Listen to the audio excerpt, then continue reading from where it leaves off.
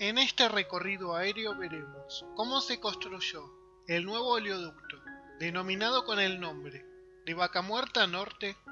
con imágenes que varían entre el mes de marzo y octubre del año 2023.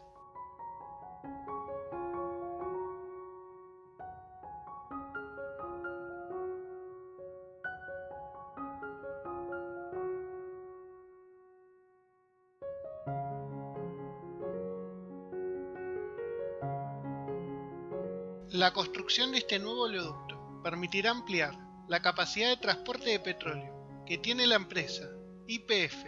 desde sus yacimientos ubicados en Vaca Muerta con el objetivo de enviar mayores volúmenes de petróleo hacia la estación de bombeo que se ubica al norte de la provincia de Neuquén en la localidad de Rincón de los Sauces.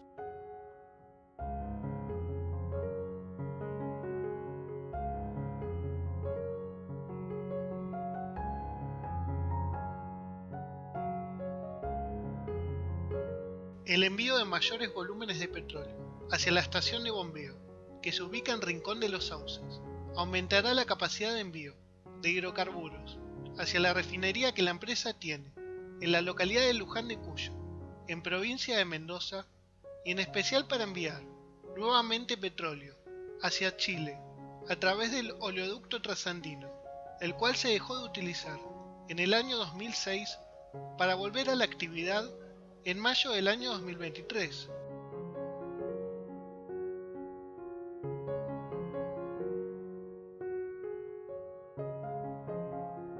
La construcción de este nuevo oleoducto es parte del proyecto que tiene la empresa IPF para exportar su producción desde el Océano Pacífico mediante el país vecino de Chile y que se completará con el futuro oleoducto Vaca Muerta Sur,